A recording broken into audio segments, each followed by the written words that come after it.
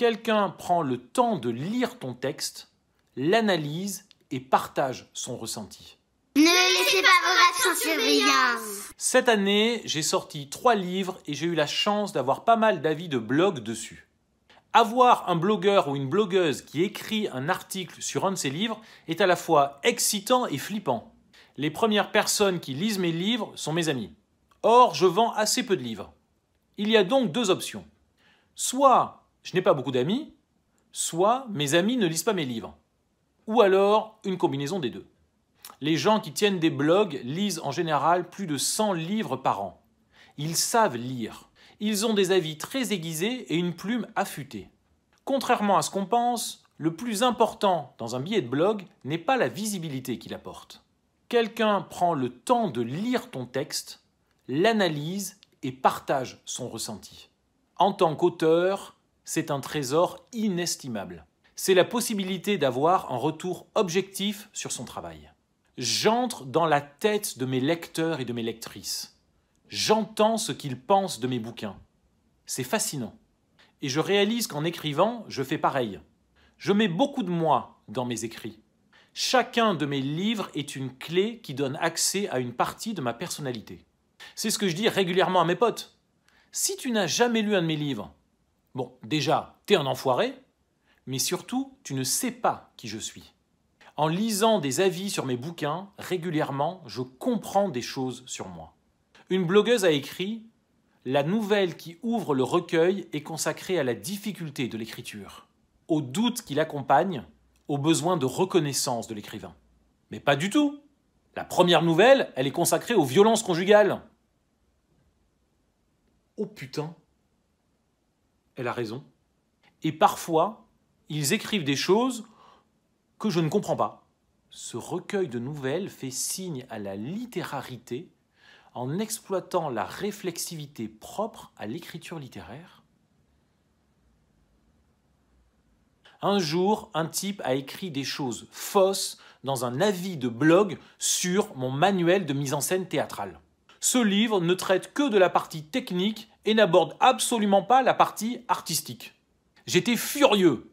J'ai dit à ma femme, c'est faux. Un tiers du bouquin est consacré à la création artistique d'une mise en scène. Ce mec a écrit n'importe quoi.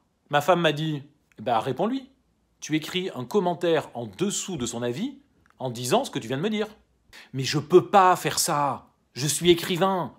Si je fais ça, les gens vont penser que ma vie consiste à regarder ce que les gens pensent de mes bouquins sur Internet. C'est ridicule. Alors certes, mon chéri, c'est ridicule mais c'est la réalité. Ta vie consiste à regarder ce que les gens pensent de tes bouquins sur Internet. Oui, c'est la réalité, mais les gens ne le savent pas. Ils pensent que j'ai une vie passionnante. Ok, mais là, tu es quand même en train de le dire dans une chronique. Donc les gens vont le savoir. Mais là, c'est différent, c'est une chronique. Dans une chronique, les gens pensent que c'est de l'humour. Ils croient que j'exagère. Ils ne savent pas que c'est la réalité. Non mais fais un effort, bon sang, c'est quand même fatigant de devoir expliquer des trucs évident et que tout le monde comprend. Ah ouais, quand même. Terme de niveau, euh, on est là, quoi. En plus, en dessous des avis de blog, il y a les commentaires. Et les gens discutent. Moi, j'ai l'impression d'être une petite souris et de les espionner. Ouais, ces nouvelles sont pas mal, mais honnêtement, si tu les lis pas, tu rateras rien. Ouh, bam, il l'a bien cassé là, hein Fais voir, il parle de qui? Ah merde, mais il parle de moi. Ouh Une écriture sensible et humaine remplie d'optimisme. Lire Axel Sénéquier fait du bien à l'âme. Les blogs permettent d'échanger avec des gens qui savent réellement ce qui est important dans la vie. C'est un monde à part. Dans la vraie vie, tu as des gens qui parlent toute la journée de trucs sans intérêt. Euh, vous êtes propriétaire ou locataire? Euh, tu as combien de stations de métro pour rejoindre ton boulot? Mais on s'en fout Alors que dans le monde des blogs, les gens me disent Dans le bruit du rêve contre la vitre, qui est la petite fille de 9 ans qui s'assoit sur le lit à l'hôpital? Ou alors Cécilia, l'héroïne de Fashion Victim, me sort par les yeux. Oh, j'avais envie de la gifler. C'est extraordinaire. On s'engueule à propos de gens qui n'existent pas. Rien que pour ça. Est-ce qu'il y a au monde une chose plus importante que la littérature?